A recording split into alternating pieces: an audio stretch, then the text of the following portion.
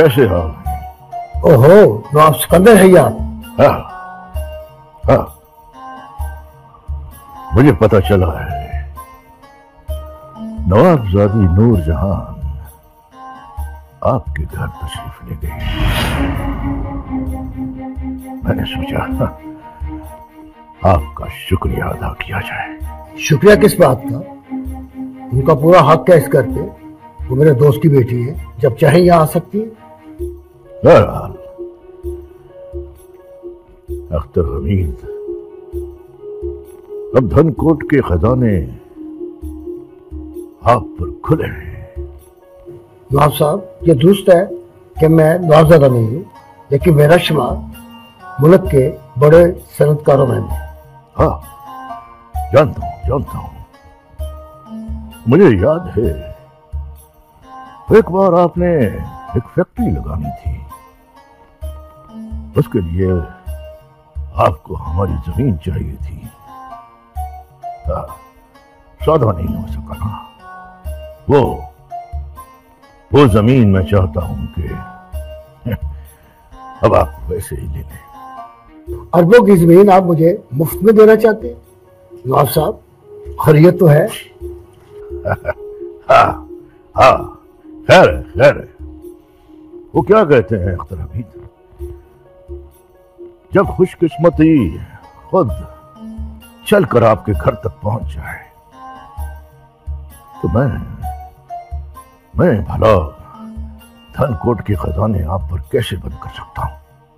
मुझे तो धन कोर्ट से सिर्फ़ इतनी दिलचस्पी है कि अपने दोस्त नवाब सौलत के कत्ल की तफ्तीश करवानी है और कातलों को अंजाम तक पहुंचाना है। ओए हमीद भूल गया है।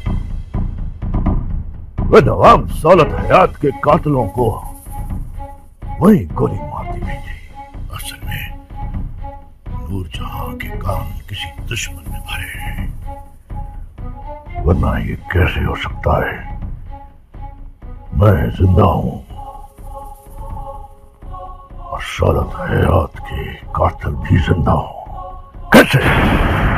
जब तफ्तीश होगी तो सच सामने आ जाएगा।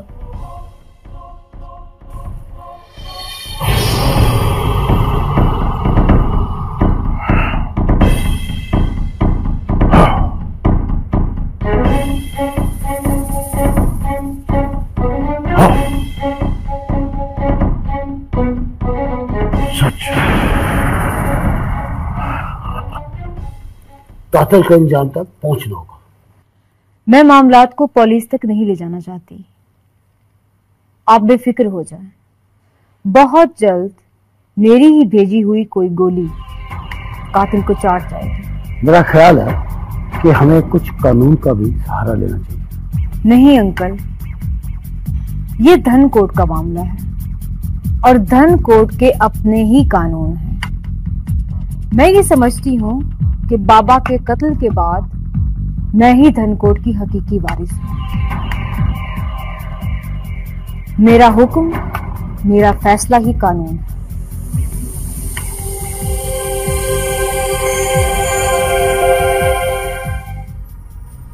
अयाज, ये मोहब्बत भी क्या अजब शय है ना? वो कैसे? मेरे जैसी पत्थर दिल लड़की का दिल भी पिघल कर बहने लगा है। तुम्हारी मोहब्बत। में तुम भी तो मेरी रूह में उतर गई हो। हम दोनों कितने खुशकिस्मत हैं ना कि हमें अपनी अपनी मोहब्बत मिल गई। ज़िंदगी के मौसम कितने हसीन हो गए हैं। मुझे हर चीज़ अच्छी लगने लगी है तुम्हारे साथ। कुछ ऐसा ही आलम है। मैं उधर पहाड़ों से उतर कर तुम्हारे लिए यहाँ मैदानों में आ गया हूँ। कुदरत ने हमारी किस्मत में लिख रखा था कि हमने मिलकर बहना है वरना तुम दरिया की तरह कहीं बह रहे थे और मैं नदी की तरह यहाँ। हाँ दरिया तो मैं पहले भी था। लेकिन तुम्हारे साथ मिलने के बाद तुम तो तेज दरिया बन गया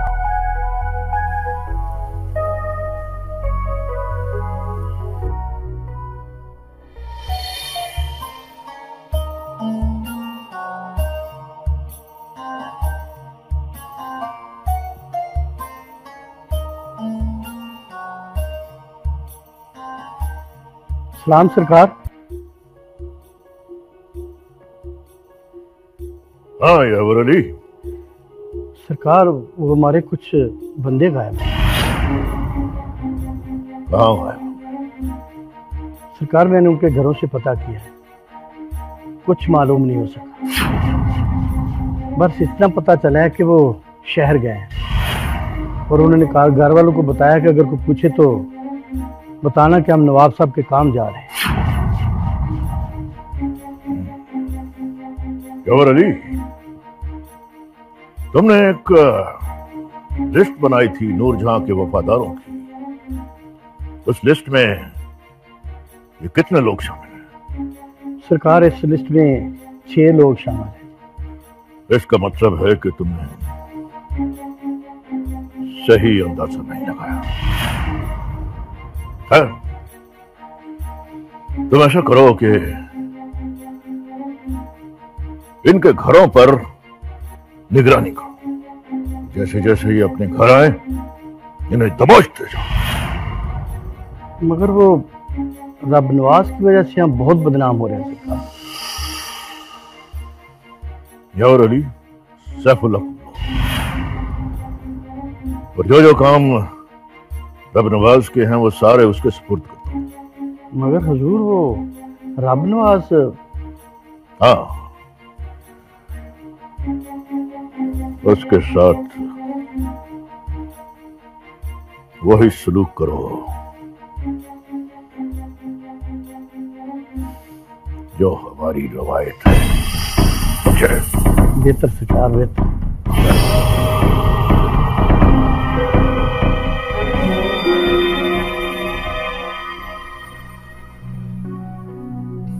अयाज मैं तुम्हारे बाबा से बात करना चाहती हूँ।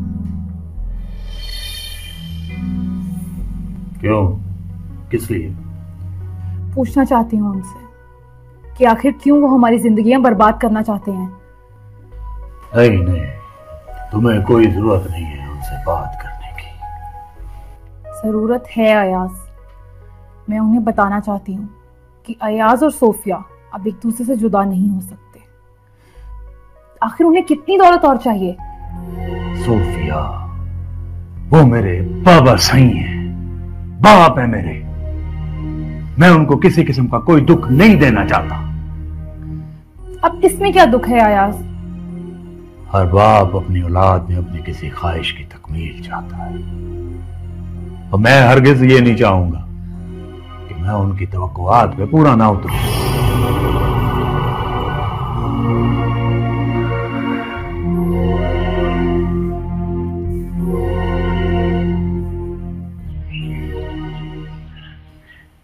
तो सफिया भी मुझ पर कुर्बान हो गई।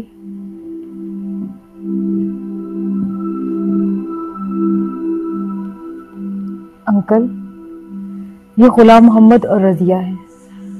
धनकोट से आए हैं और मेरे जानिसार हैं। अब ये मेरे साथ ही रहेंगे। ये नूरजहां का ही घर है। आप लोगों को कोई तकलीफ़ नहीं होगी। हाँ तो रजिया नवाब सिकंदर हयात ने तुम्हें क्यों कैद कर रखा था? बीबी जी वो मुझसे मेरे शोहर के बारे में जानना चाहते थे। तुम्हारे शोहर से क्या मसला है उन्हें? नवाब सौलत हयात का जब कत्ल हुआ था तो वो उनके साथ था। वो जख्मी हुआ था मरा नहीं था। अब कहाँ है वो? अब वो बिल्कुल ठीक है बीबी जी। आप जब कहेंगी वो हाजिर हो जाएगा। मुझे पहली बार यकीन आया कि मेरे दोस्त का कातिल सिकंदर याद है।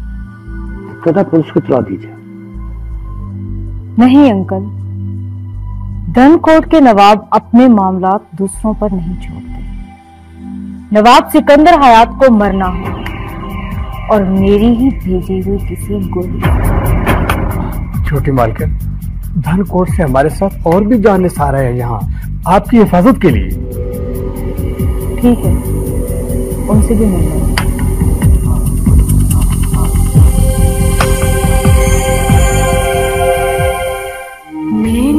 नैनों गए हो, बूंदों में ढलते पानी पानी रे चलते पानी पानी रे चलते पानी। नैनों तका गए हो, बूंदों में ढलते पानी पानी रे चलते पानी पानी रे चलते पानी।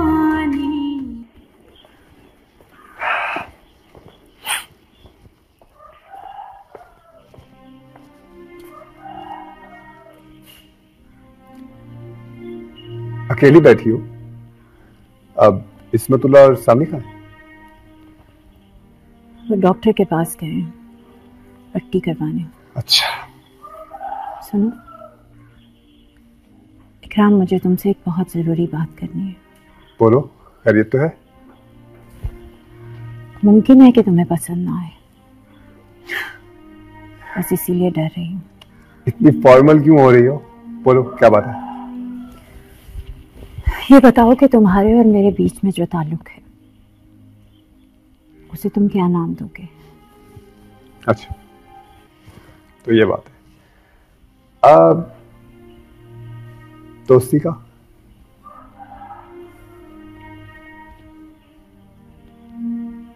तुमने कभी मुझसे शादी करने का सोचा है? हाँ सोचा भी है और नहीं भी सोचा। और अगर मैं तुमसे कहूँ कि मैं किसी और से शादी करना चाहती हूँ तो तुम्हें बुरा तो नहीं लगेगा?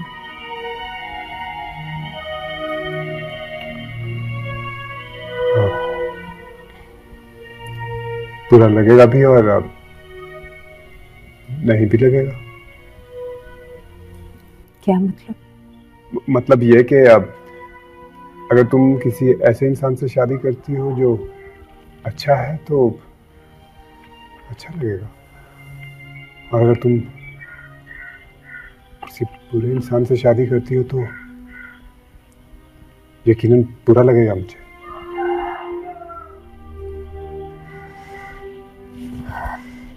इकराम, मैंने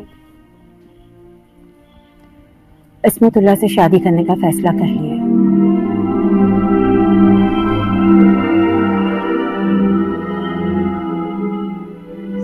वाह। इससे बड़ी मेरी ज़िंदगी की कोई जीत हो ही नहीं सकती।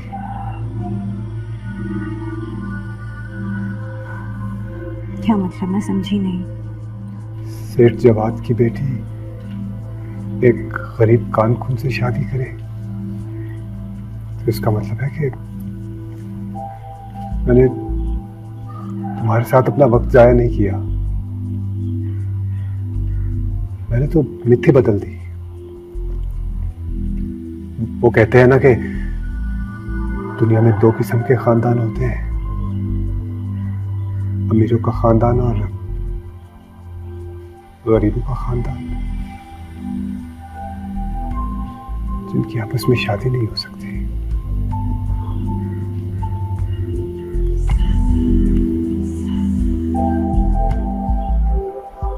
तुम खुश तो हो ना?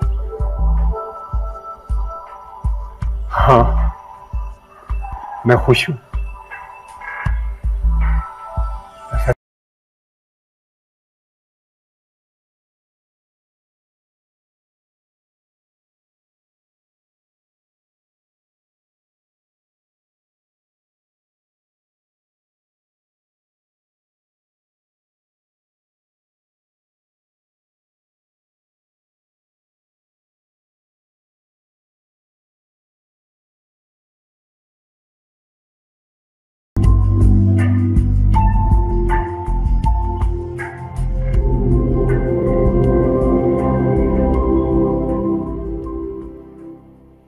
आप लोग अच्छी तरह से जानते हैं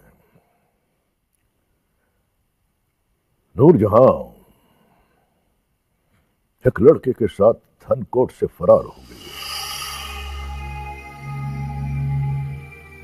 और धनकोट के माथे पर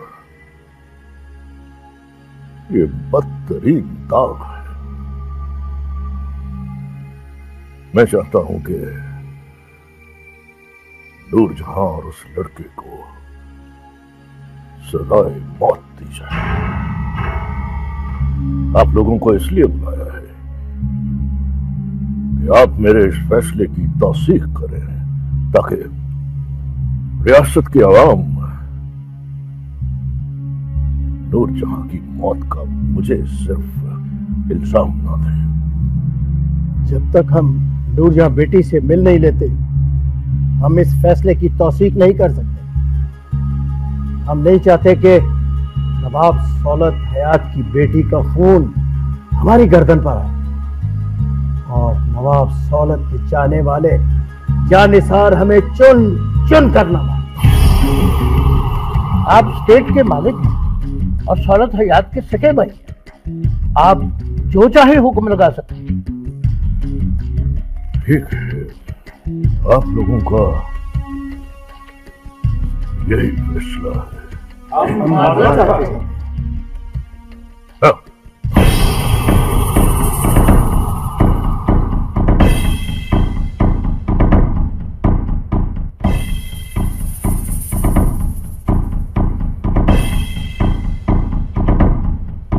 आपने इन सरदारों को इतनी अहमियत क्यों दी है सरकार? हमारे आदमी लाहौर पहुँचने वाले हैं। छोटी मालकन दो चार दिन से ज़्यादा ज़िंदा नहीं रह सकी ए पगला तू नहीं समझता? यवर अली? तू जानता है ना? लाहौर में मुझ पर कातलाना हमला हुआ। हाँ, किसने करवाया? नूर जहाँ के जान निसारों ने इसलिए यवर अली, अब हर मामलात में हमें बड़ा सोच समझ कर संभल कर चलना होगा। हाँ।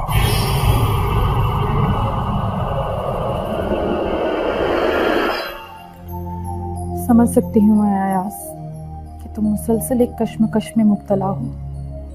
तुम मुझसे भी मोहब्बत करते हो और अपने बाबा की ख्वाहिश भी रद्द नहीं करना चाहते। मैं नूरजहां से शादी नहीं करना चाहता और मुझे समझ नहीं आती कि बाबा सही को कैसे कायल करूँ। तुम्हारे बाबा को नूरजहां में नज़र क्या आता है? वो मुझे धनकोट का नवाब बनाना चाहते हैं। यह भी हो सकता है नूरजहां से शादी करने के बाद धनकोट का नवाब बनने के बाद मैं तुमसे भी शादी कर लूँ। नहीं ऐसा नहीं हो सकता। मैं अपनी मोहब्बत में किसी और को शरीक नहीं कर सकती। हाँ। मोहब्बत तो मैंने तुमसे ही की है सोफिया। वो तो मेरी मजबूरी है। अच्छा। चलो ठीक है। लेकिन पहली शादी तुम्हें मुझसे करनी होगी।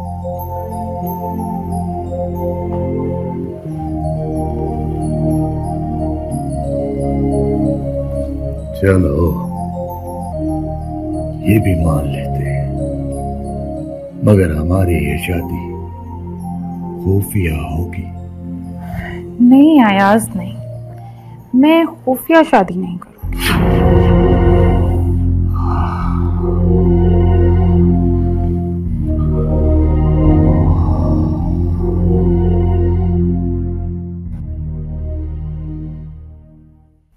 बीबी जी ये मेरे घर वाले हैं।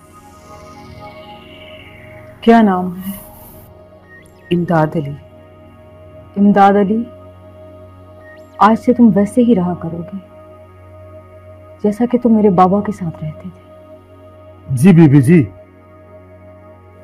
पर मेरी ये ख्वाहिश है अगर आप मुझे इजाज़त दें तो मैं कुछ और करना चाहता हूँ। क्या करना चाहती हूँ इमदाद अली? मुझे तब तक चैन नहीं आएगा, जब तक मैं अपने मालिक के खून का कर्ज न चुका लूँ। आप मुझे नवाब सिकंदर हयात को कत्ल करने की इजाज़त दें। इजाज़त है। और इस मकसद के लिए तुम्हें जितनी भी रकम दरकार हो, रजिया से ले लो।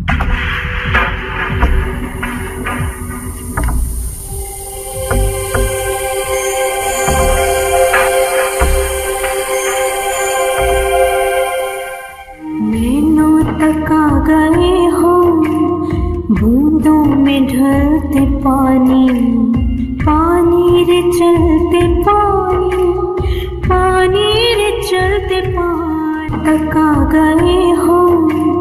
बूंदों में ढलते पानी पानी रे चलते पानी पानी रे चलते पानी। सलाम इकराम बाबू। गुल्लू, बैठो। इकराम बाबू, तुम्हारी ज़िंदगी खतरे में है। छोड़ गुल्लू जिस दिन लिखी है, उस दिन आई जानी है। मैं डर डर के मरने के कायल नहीं हूँ। ये तूने बड़ा अच्छा किया। इसे अपने पास रखा कर। आज मैं बहुत परेशान हूँ गुल्लू क्यों? चल छोड़। तू कोई अपना अच्छा सा गीत सुना। तो क्या मैं पहले अच्छे गीत नहीं सुना था चल सुना ना। लो फिर सुन। अखियाँ दे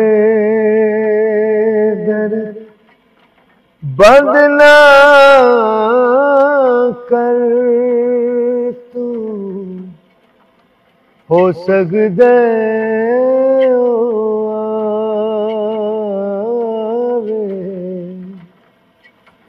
सोचां दी कंध ना कर तू हो सकदे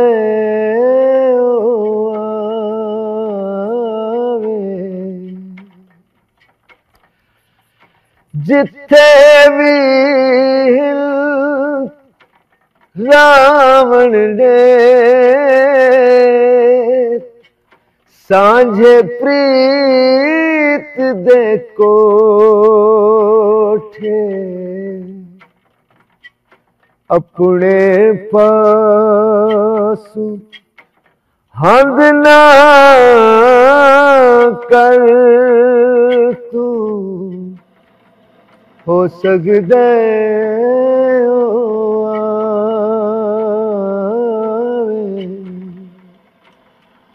अखियाँ दे दर बंद ना कर तू हो सकदे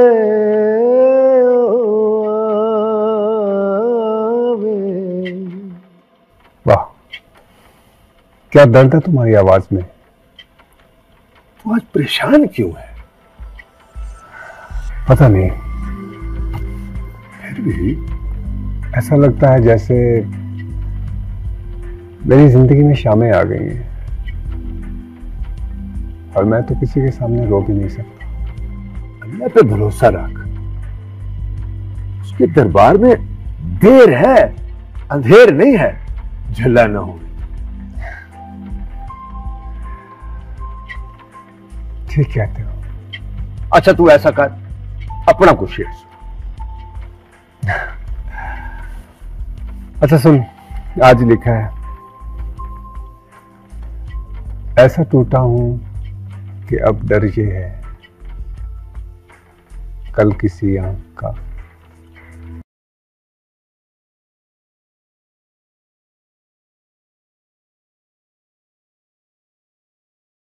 आज तुम कहाँ चले गए थे बताए बिना? तुम्हें पता भी है मैं कितनी परेशान हो गई थी। हाँ बैठो बैठो बैठो। ऐसे ही बस घूमने फिरने चला गया था तो इसमें परेशानी की क्या बात है? और तुम्हारा फ़ोन भी बंद था। हाँ हाँ हाँ हाँ। बैटरी खत्म हो गई इसकी। अयाज तुम जानते हो ना बाबर की गुमशुदगी की वजह से मैं बहुत परेशान हूँ। मुझे लगता है नवाब सिकंदर हयात ने बाबर को कत्ल करवा के उसकी लाश को गायब कर दिया क्या? लेकिन वो तो नूरजहां को कत्ल करवाना चाहता था ना? वो नूर जहाँ के साथ साथ हर उस शख्स को कत्ल करवा देगा जिससे नूर जहाँ की शादी हो सकती है। ऐसा क्यों? आधे धनकोट की मालकन है नूर जहाँ वो चाहता है नूर जहाँ मर जाए। या उसकी शादी उसके बेटे के साथ हो जाए।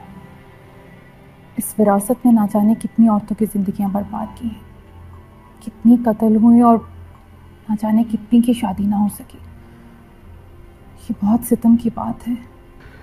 यही दुनिया है और यही इस दुनिया का रिवाज।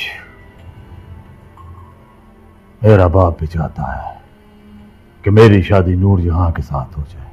वो वो जायदाद की वजह से। पर नूर जहाँ है ही क्या उसमें? पत्थर की औरत लगती है वो। मुझे तो खुद ऐसा लगता है जैसे उसके सीने में दिल नहीं पत्थर रखा हो। तुम्हें पता है तानियाल ने मुझे बताया कि उसे तो बाबर के गुम होने का भी कोई दुख नहीं। उसके चेहरे पे तो मलाल तक दिखाई नहीं देता था। धनकोट की औरतें ऐसी ही होती हैं।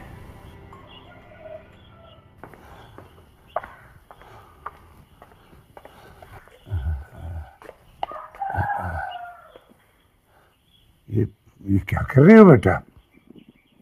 बैठ बैठ बेटा बैठ बैठ।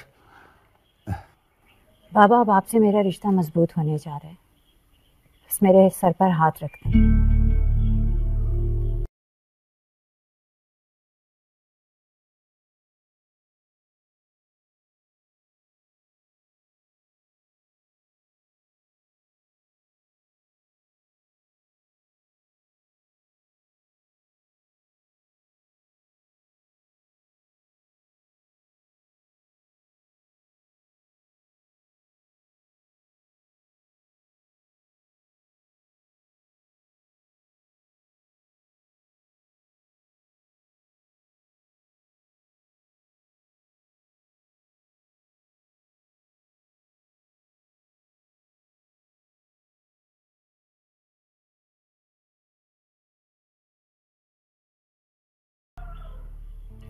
खैर करे।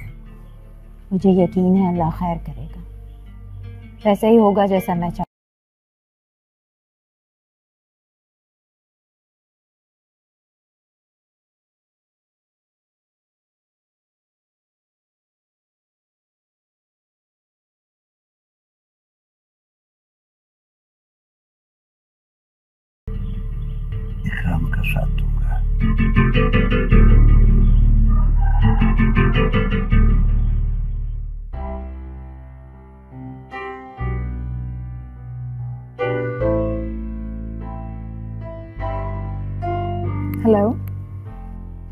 मैं नूरजहां बोल रही हूँ। जी नूरजहां कैसी हैं आप? मुझे खुशी है कि आपने मुझे याद रखा। तुम किस दिन चक्कर लगाओ हमारी तरफ़? मुलाकात होनी चाहिए। जी ज़रूर। ऐसे आप भी किस दिन चक्कर लगाइए ना? हाँ ज़रूर। मैं किसी भी वक्त चक्कर लगा लूँगी। और हाँ ये अपने मिस्टर अयाज को जरा काबू में रखो। आया था मेरी तरफ़ अपने बाप के कहने पर। और यकीनन तुमसे छुप कर आया होगा, वरना तुम साथ ज़रूर होते।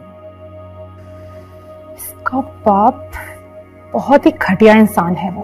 तुम्हारा अंदाज़ा बिल्कुल दुरुस्त है। लेकिन अयाज अच्छा लड़का है और तुम्हारे साथ अच्छा लगता है। लेकिन मैं उसके बाप का क्या करूँ? फ़िक्र ना करो, हट जाएगा तुम्हारे रास्ते से। वो कैसे? अब इंसान को मौत भी तो आ सकती है ना। अच्छा नूरजहां ये बताइए कि आप मेरे घर कब आ रही हैं? मैं किसी भी वक्त चक्कर लगाती हूँ तुम्हारी तरफ़ जी। अल्लाह हाफिज।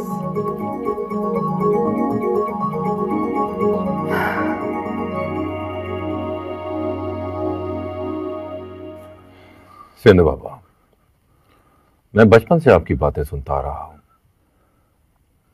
और मुझे लगता है कि मेरे अंदर जो तब्दीली वाकई हुई है, उसमें आपकी बातों का बहुत अमल दखल है।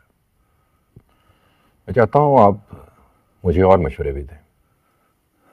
छोटे नवाब, मैं क्या और मेरी औकात क्या?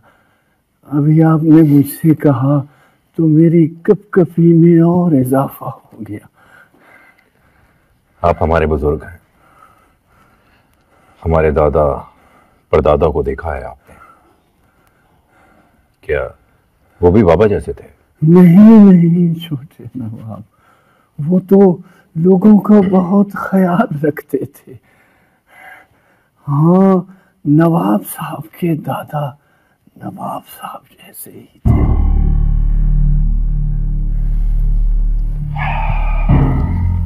बैठो बैठो बैठो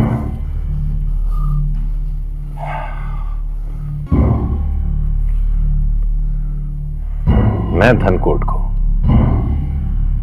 एक फलाही रियासत बनाना चाहता हूँ, जहाँ हर शख्स को उसके काम की इतनी उजरत मिले कि वो अच्छी ज़िंदगी गुजार सके। उसके पास खाने के लिए खाना हो, पहनने के लिए कपड़े हो, रहने के लिए मकान हो तमाम लोगों के इलाज की ज़िम्मेदारी रियासत पर हो।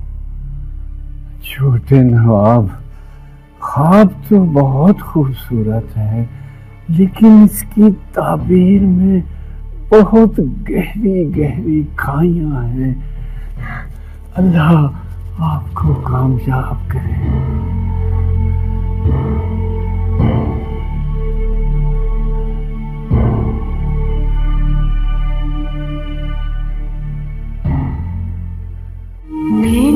आ गए हो, बूंदों में ढलते पानी पानी रे चलते पानी पानी रे तले हो, बूंदों में ढलते पानी पानी रे चलते पानी पानी रे चलते पानी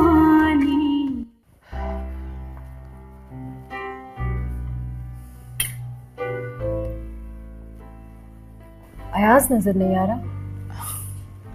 वो कल रात को ही धनकोट जा चुका है। ये पैगाम देके कि उसे कोई इमरजेंसी है। मैं जानती हूँ कि उसे क्या इमरजेंसी थी। क्या इमरजेंसी है? उसके बाबा की जान खतरे में है। अ,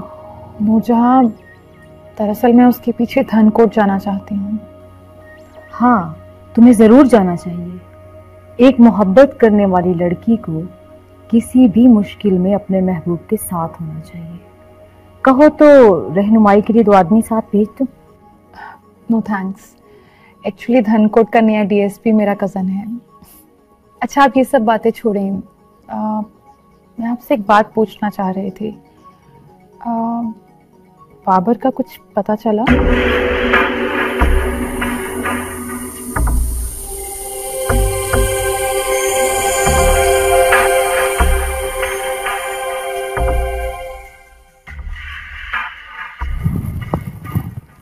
देखिए अख्तर अमीर साहब। आप एक कारोबारी आदमी हैं। और आपके लिए मुनासिब नहीं है कि आप लोगों के खानदानी मसाइल का हिस्सा बने। मेरी माने, अपना फ़ायदा लें और अलग हो जाएँ। मुझे पता है नवाब सिकंदर मुझे अल्फों का फ़ायदा दे सकता लेकिन मेरी आँखों के सामने नवाब सौलत याद का चेहरा आ जाता है। सर जी क्या बात करते हैं आप? कारोबारी आदमी इतने जज्बाती नहीं हुआ करते। मैं सोचता हूँ आखिर मुझे भी तो मरना है। और मरने के बाद मैं नवाब सौलत याद को कैसे अपना चेहरा दिखाऊँगा? लगता है आपके कवा मुजमेल हो गए हैं। नहीं यार अभी नासिर में इतना है। और मेरा मसला सिर्फ़ नवाब सूरतिया लेकिन वो तो मर चुका है। लेकिन बेटी तो उसकी ज़िंदा मैं बड़ी उम्मीद लेके आया आपके पास। आप सिकंदर से कहना कि अख्तर हमीद हर चीज़ फरोख्त कर सकते हैं लेकिन किसी की ज़िंदगी नहीं।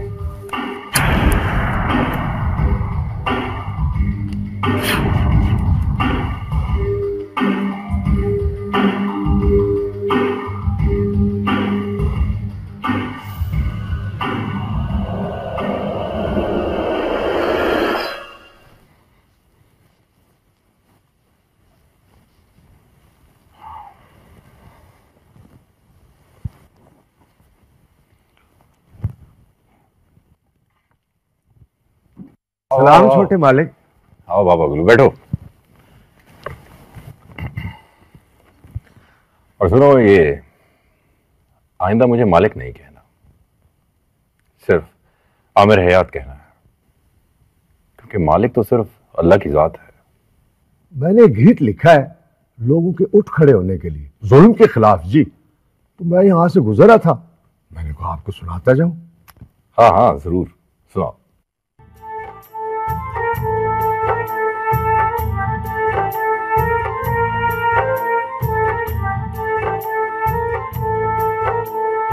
ਗੀਤਾਂ ਵਿੱਚ ਗੁੱਲੂ ਦੇ ਹੋ ਜਿਆ ਪੇਚਵੇ। ਗੀਤਾਂ ਵਿੱਚ ਗੁੱਲੂ ਦੇ ਇਹੋ ਜਿਆ ਪੇਚਵੇ। ਔਣੇ ਪੌਣੇ ਜ਼ਾਲਮਾਂ ਦਾ ਓਏ ਸਭ ਕੁਝ ਵੇਚ ਦੇ ਗੀਤਾਂ ਵਿੱਚ ਗੁੱਲੂ ਦੇ ਇਹੋ ਜਿਹਾ ਪੇਚਵੇ।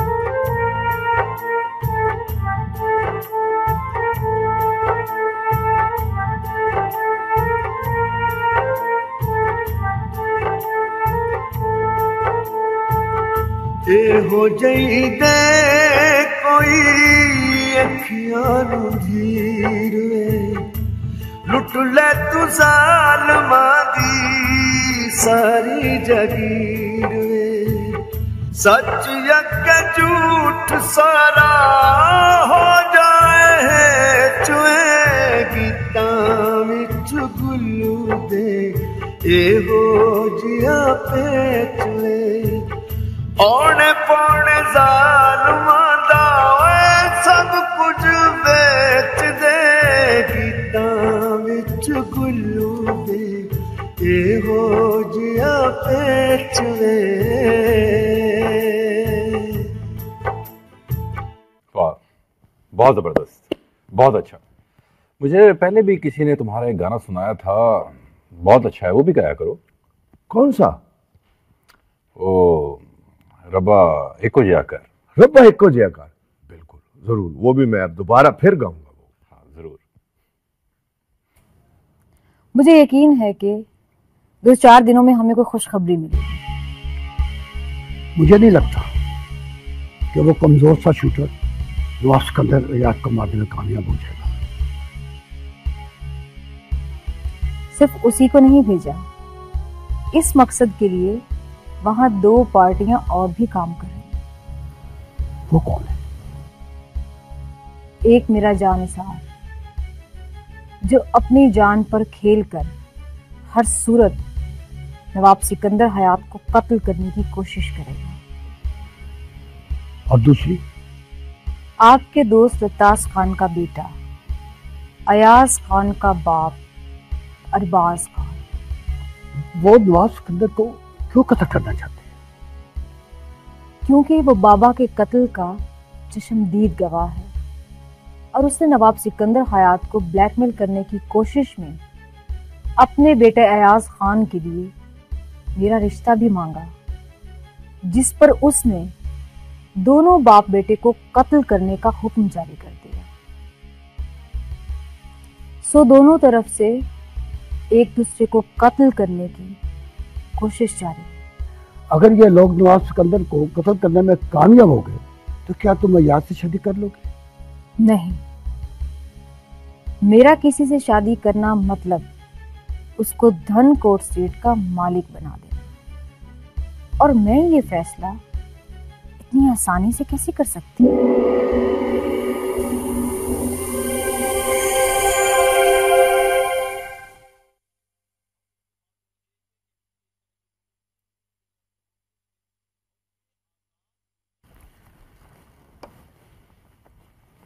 सरकार ये लड़की आपसे मिलना चाहती है। हाँ, ठीक है। जाओ तुम। मुझे मलंग बाबा ने आपकी तरफ़ भेजा है। जी बताइए मैं बात करूँ आपकी? मुझे बताया क्या मैं कर सकती? हूँ ये क्या बात हुई भला मुझे नहीं मालूम। मलंग बाबा ने मुझे आपके पास क्यों भेजा? आप किस मकसद के लिए गई थी उनके पास? बचपन में मेरे माँ बाप मर गए थे। बस ये समझ ले मलंग बाबा ने मुझे पाला। क्या क्या नाम है आपका? मलंग बाबा की दुआ हूँ। यारो? जी सरकार। इन्हें छोटी मालकिन के कमरे में ठहरा दो। बेहतर सरकार। वहाँ कपड़े हैं जेवर है आप कुछ भी इस्तेमाल कर सकते हैं। मैं मलंग बाबा की इजाज़त के बगैर किसी भी चीज़ को हाथ नहीं लगा सकती। अगर मलंग बाबा ने आपको कुछ बताए बगैर यहाँ भेजा है तो ये समझ लें कि उनकी तरफ़ से आपको हर बात की इजाज़त है। यारो ले जाओ इन्हें। चलें दीदी।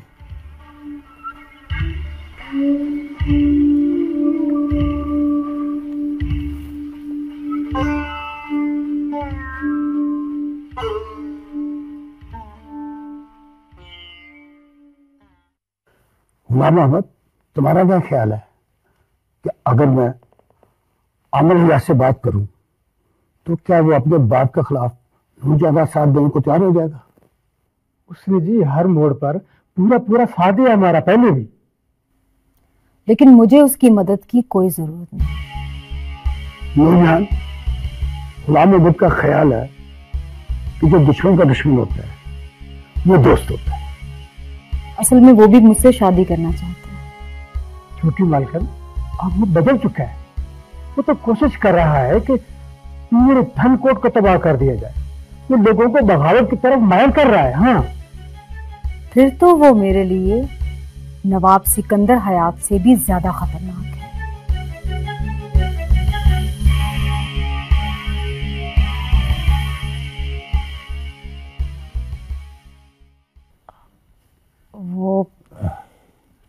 अरे बेटी आप कुछ कहना चाह रही हो मुझसे? जी बाबा। मुझे आपसे एक बहुत ज़रूरी बात करनी है। मेरी बेटी हो कहो क्या कहना है? बाबा वो मैं इकराम के लिए सामली का हाथ मांगना चाह रही हूँ आपसे। किस हैसियत से? उसके दोस्त की हैसियत से। क्या इकराम के घर वाले नहीं है? हैं उसकी एक बुज़ुर्ग माँ है और वो ये सुनकर बहुत खुश होगी। देखो बेटा मैं मैं शामली से बात करूँगा लेकिन आप आज से इकराम को कहो कि वो साथ वाले घर में चला जाए फिर उसका यहाँ रहना तो मायूब लगेगा ना। जी बाबा मैं आज ही उसे दूसरे घर में शिफ्ट कर दूँगी। आपकी कभी शामली से इस बारे में बात हुई? जी बाबा मेरी सामली से बात हुई लेकिन अगर आप खुद एक बार बात करें तो मुनासिब होगा। बेटा मैं तो अक्सर शामली की शादी के बारे में सोचता रहता हूँ। चलो अच्छा है शामली और इसमतुल्ला दोनों की इकट्ठे शादी हो जाएगी। नहीं बाबा पहले हम सामली और इकराम की शादी करवाएँ चलो जैसा तुम चाहो।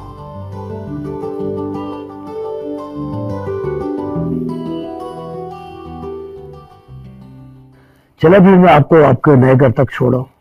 लेकिन बेटा याद रखना ये कर भी आपका मैं आपकी मोहब्बतों को कैसे भूल सकती हूँ? आपको अब भी हर मामले में मेरी रहनुमाई करनी होगी।